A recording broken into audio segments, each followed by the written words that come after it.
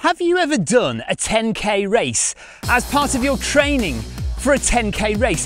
Have you ever raced a marathon as part of your training for a marathon? And have you ever run a 100 mile race in preparation for a 100 mile race? Well, today we're going to find out whether that's such a good idea as we look back at week five of UTMB training. I'm doing my hill reps at the start of week six, so let's have a look at what training looked like for week five, and we didn't do too badly.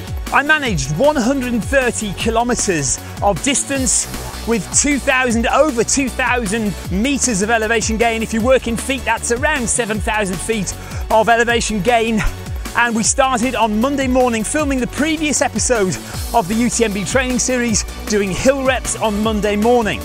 Monday evening was a steady 10k on the treadmill live on Zwift. Remember, if you want to watch any of my Zwift runs, join the Zwift Run channel on YouTube and uh, you can see any of my runs live on the treadmill. So with 25k and 350 meters of elevation gain on Monday, we then added to that on Tuesday morning with 500 more meters of elevation gain, 12% on the treadmill on the Zwift Run channel doing the Film My Run 500 event. And then me and my mate Charles went out on Tuesday evening and we did 10 miles flat along the seafront. If you watch the channel regularly, you'll know by now that Wednesday night is treadmill interval night. We go live on Zwift and we do over threshold for 600 meters and under threshold for 600 meters. That's my hard effort for the week. Thursday's all on the treadmill as well. 500 meters climbing in the Film My Run 500 in the morning and then a nice easy six or seven K in the evening on Zwift. 10 miles on the hills on Friday morning, just getting in some more elevation. Follow me on Strava to check out all my training, which is all documented on there. The link is just here. It was a very relaxed 9K on Zwift on Friday evening, but Saturday I did park run and it was an interesting session on Saturday morning. We didn't travel anywhere different. We did our local park run in Worthing and I decided to run nice and easy with Victoria pretty much at the back of the pack. So we started out and uh, I was just feeling a bit cramped in. There was too many people around and Victoria had found somebody to chat to and I just thought, you know what, let's run. So I just sped up a bit. So I worked my way through the crowd and eventually ended up making Parkrun on Saturday morning a progressive session with my final kilometre being all out, absolutely lung busting as hard as I could go. I think I did it in 340 something. So Saturday's park run, we're going to put that down as a hard effort. And that brought me to about 98k for the week. Perfect for Sunday's long run, which would be my longest run of the training block so far. I had intended to start my long run at about 9 a.m. on Sunday morning, but I was incredibly lazy getting out of bed. I sat around most of the morning drinking coffee and procrastinating. I eventually managed to get out on my run at around 12.30. The problem was I felt a little bit rushed by then and I did something I don't normally do. You know that I'm a big advocate of 80-20 running. So your 80% is in zones one and two and your 20% is hard effort in zones four and five. Very, very rarely do I run in zone three. And because I felt rushed, if you look at Strava and you look at my heart rate, a lot of my heart rate is in zone three because I was pushing a bit harder to try and do the run a bit quicker than normal, which was not great because by the end of the run, I was feeling very fatigued. The last 3K really was tiring. And so much so that yesterday, Monday, today's Tuesday, I would normally have gone out for a hill session um, or at least some kind of run and I felt too fatigued. And that's the problem with running in zone three is that you can too easily get tired fatigued and not want to go out running the next day. That said, 20 miles done, 600 meters of elevation gain, and that was me for the week. So all in, we did 130 kilometers of distance, uh, 45 kilometers on the treadmill and 85 kilometers outside. So you know now we start to build the mileage, we do a lot more mileage outside than on the treadmill.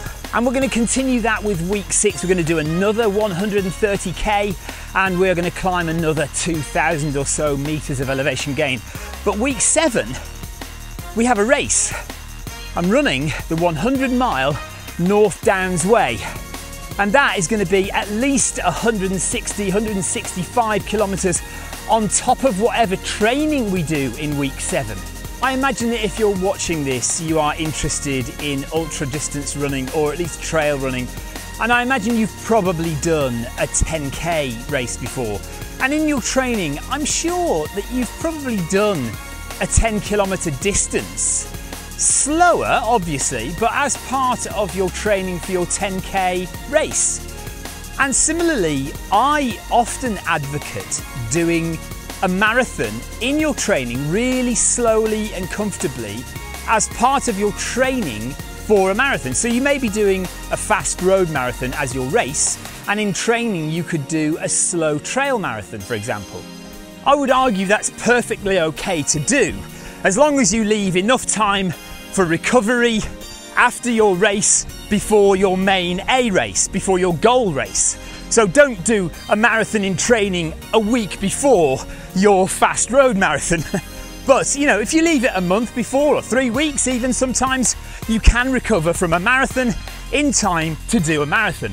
However, 100 miles is a little bit different.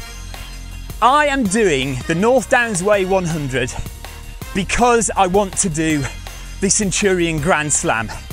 It is just an accident that it happens to fall just a few weeks before UTMB. I am hopeful that I can recover just in time and just well enough from the North Downs Way 100 in order to finish the UTMB 100. That's my main race, that's the race that I want to finish. But I also want to finish the North Downs Way 100 as part of the Centurion Grand Slam.